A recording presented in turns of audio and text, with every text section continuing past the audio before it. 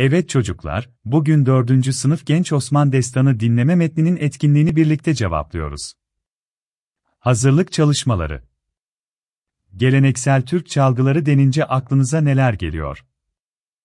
Bağlama, darbuka, zurna, def, davul, kemençe, kanun gibi.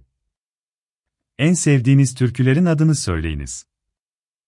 İsterseniz bunlardan birini sınıfta arkadaşlarınıza söyleyiniz. Örnek olarak, Neşet Ertaş'ın Tatlı Dile Güler Yüze türküsünü örnek gösterebiliriz.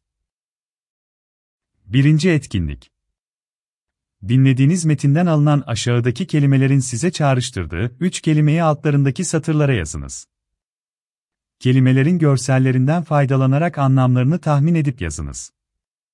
İbrişim İpek, ip, koza Kuşak Kemer, kıyafet, pantolon Uşak Çocuk, hizmetçi, küçük. İbrişim, kalınca bükülmüş ipek iplikten yapılan. Uşak, bele sarılan uzun ve enli kumaş. Uşak, çocuk. Tahminlerinizi kelimelerin sözlük anlamlarıyla karşılaştırınız. Anlamını öğrendiğiniz kelimeleri cümle içerisinde kullanarak cümlelerinizi aşağıya yazınız. T için ibrişim eğer aldı. Çocuk parasını kuşağının içine sakladı. Köyün uşakları çok cesurdur. İkinci etkinlik. Metni bir daha dinleyiniz. Metinde seslerini duyduğunuz müzik aletlerini işaretleyiniz. Üçüncü etkinlik. Türkünün ana duygusunu yazınız.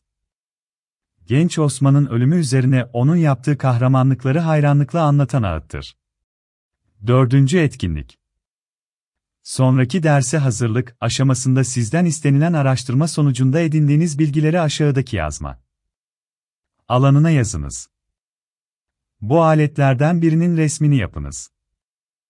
Davul, zurna, sipsi, saz, ud, cümbüş, keman, darbuka, def, yaylı tambur, kabak kemane, zil.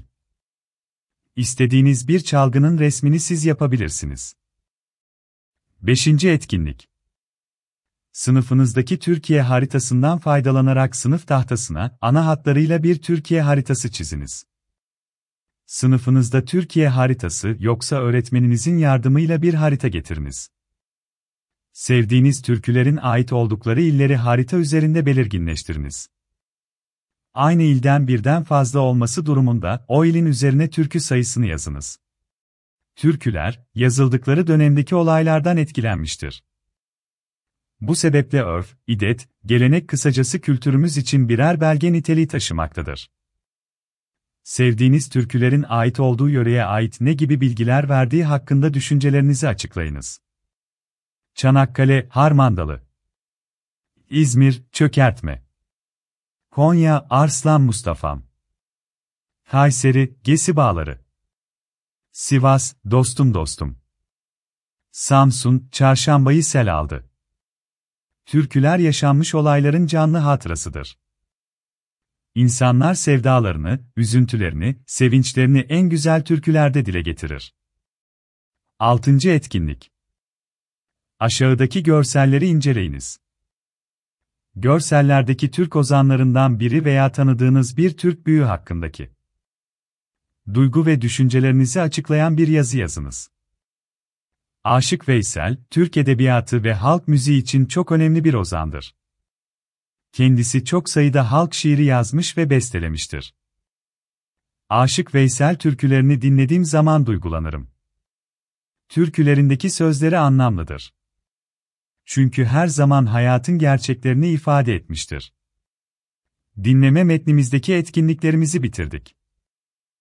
Diğer etkinliklerimiz için kanalımızı takip edebilirsiniz.